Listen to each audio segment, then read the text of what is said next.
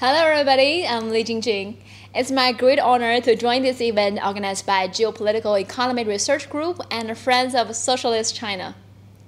As a Chinese born and raised here, me and my family are among the millions of ordinary Chinese people whose lives have been improved along with the development of this country. And as a journalist, I try to go to all corners of China to see how the poverty alleviation project is being implemented at the grassroots level and talk to impoverished people to understand their situations. In recent years, I traveled extensively to Yunnan, Guangxi, Xinjiang, and Tibet, and I saw how poverty alleviation changed those places. So today, I want to share some useful methods that China used to end absolute poverty, as well as some stories I've personally witnessed. As many of you know, China is a vast country with very diverse geological conditions and a large population. That poses great challenges for solving poverty because each region, each village, each household has a different cause for its poverty. For example, in Guangxi Zhuang Autonomous Region, Yunnan Province, and Sichuan Province, many people had been cut off from the outside world by the steep mountains. In Tibet, many people used to live in one of the world's most inhabitable places that lacked water, electricity, and food. The varying reasons for poverty call for different solutions. By 2015, 30 years after China started its poverty alleviation project, there were still over 82 million impoverished people who were also in the most challenging situation. How to help them? Targeted poverty alleviation, which I think is one of the most valuable experiences that people in other countries could learn from. I'd like to explain how targeted poverty alleviation worked. First, people in poverty must be identified. That includes pinpointing exactly who are the impoverished people, who needs help the most, what are the reasons that led each family into poverty. Second, precise solutions. After identifying the people, local governments need to come up with specific plans that can help each household. I can give you an example that I witnessed last October in Dali Bai ethnic group Autonomous Prefecture in Yunnan province. People who work in government or state owned institutes in that region need to take care of those impoverished households. 200 public servants take care of 600 impoverished households in that region, and each person is assigned two or three households. I followed two young public servants that had been taking care of four families for over two years. And this is the footage I took with my phone. 这些年有没有什么这个改变啊、改善啊？改善的话，像阿哥他们经常过来访问啊，嗯，那个小宝他们啥他都 给一些零零花钱啊，这种的挺好的，嗯，也非常感谢政府他们。就是咱们这个房子盖的时候都补助了两万三千块钱。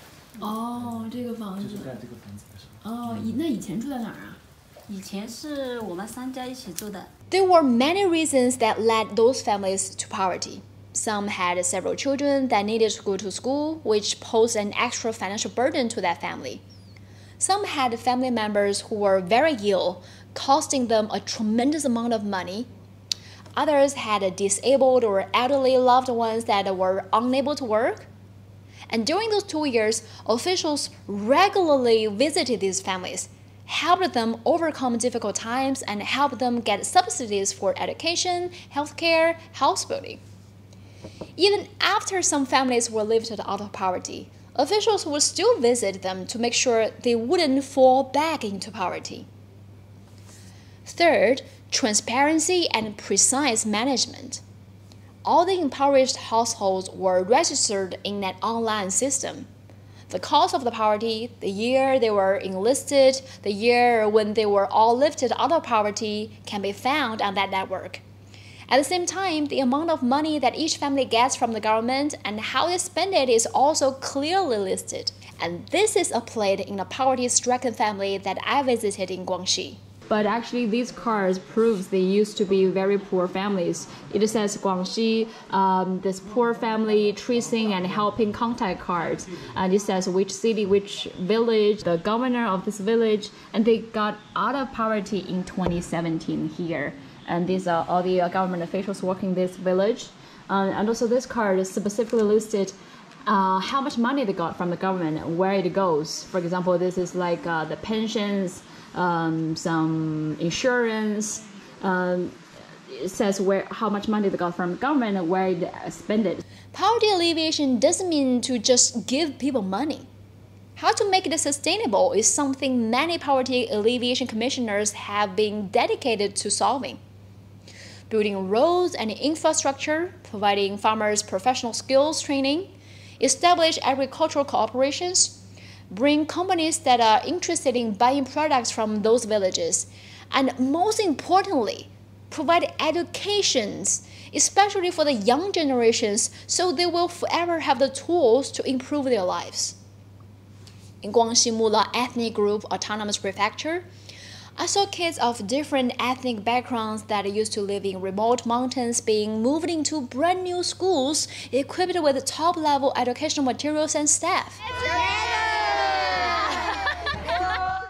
China's poverty alleviation project focuses on building infrastructure, houses, education, medical care, jobs, and protect the ecosystem at the same time. But that job wouldn't be accomplished without the 200,000 government staff members at all levels that went to villages as poverty alleviation commissioners.